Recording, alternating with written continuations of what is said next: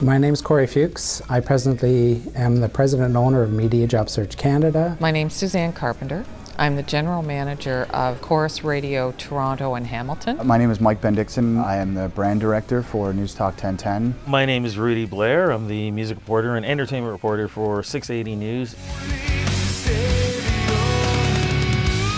Suzanne, I'm so happy for her to get this award because no one is more deserving that I could think. Amazing, honestly, what uh, she's accomplished over the years. Suzanne uh, Carpenter being inducted into the Hall of Fame, it's great. Uh, she now runs six radio stations here in Toronto and uh, Hamilton combined. She's an excellent GM. What I like about Suzanne is the fact that you know she doesn't micromanage.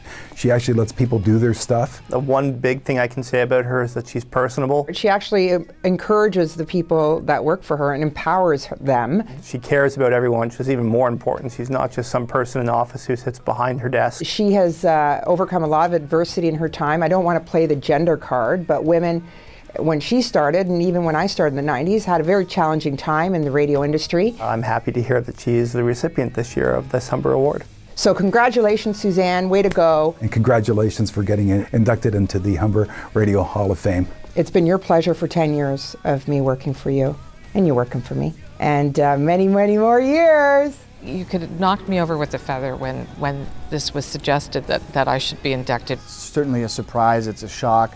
Uh, it's really not necessary, it's unexpected. When I got the letter, I'm going, oh, what have I done for the industry? It's something I would never really expected. But at the same time, deep down, it's something I always kind of wanted. I think back to those days when I was in the, the pipe playing euchre, and I think, really? Are you sure?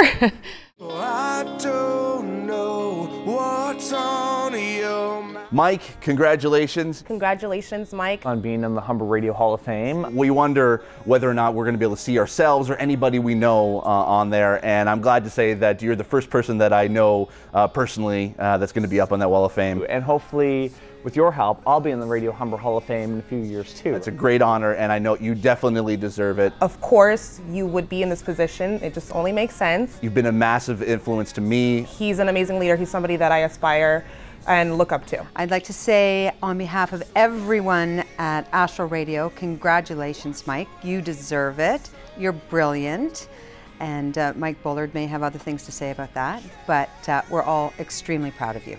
When I came to the program, one of the things I was most jazzed about was the fact that I could take what I was learning and apply it. It taught me what radio was all about. I couldn't have done what I do now if it wasn't for there. It gave me a whole new sense of accomplishment and confidence in my own ability. Being able to learn all the, the terminology and the lingo and things like that that go into being at a radio station. At Humber, they encouraged you to be creative, to think out of the box, because when you can stand out, then you're going to get attention. I really did grow as a person in the two years that I was in the program. You are unique and you are an individual. You stand out. There are not a lot of people, if anybody, can do what you can do.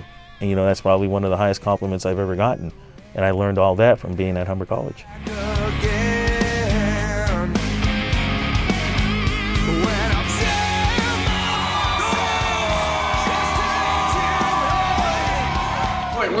Being honored by Humber College, and that is a huge, huge honor. I don't have it. Rudy, couldn't be a, a, better person to induct into the Humber Hall of Fame. Rudy Blair is a multi-talented guy. He's now an established figure in the music industry. Uh, people love him.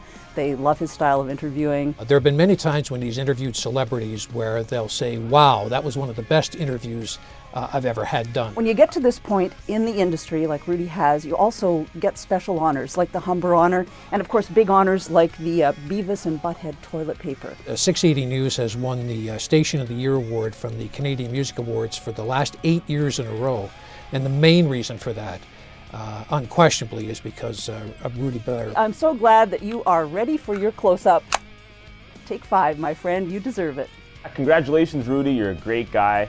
Uh, well deserved. Uh, nobody deserves it better, more than you, bud. From the bottom of where my heart should be, I say congratulations to you. I'll be serious. Well Rudy, deserved, Rudy, you are amazing. memorable experiences. There, there are a number of them. Maybe one-on-one with the, the teachers. And guest speakers from the industry, from the radio industry, and I remember being so impressed by these people. Uh, spending time with such a, a group of people that were so passionate about the business, so passionate about radio. And if there's anything that I miss about being at Humber College, again, it's learning that creativity and not knowing that you had it in you. And then when it just springs out, you're just like, wow, I didn't know I could do this.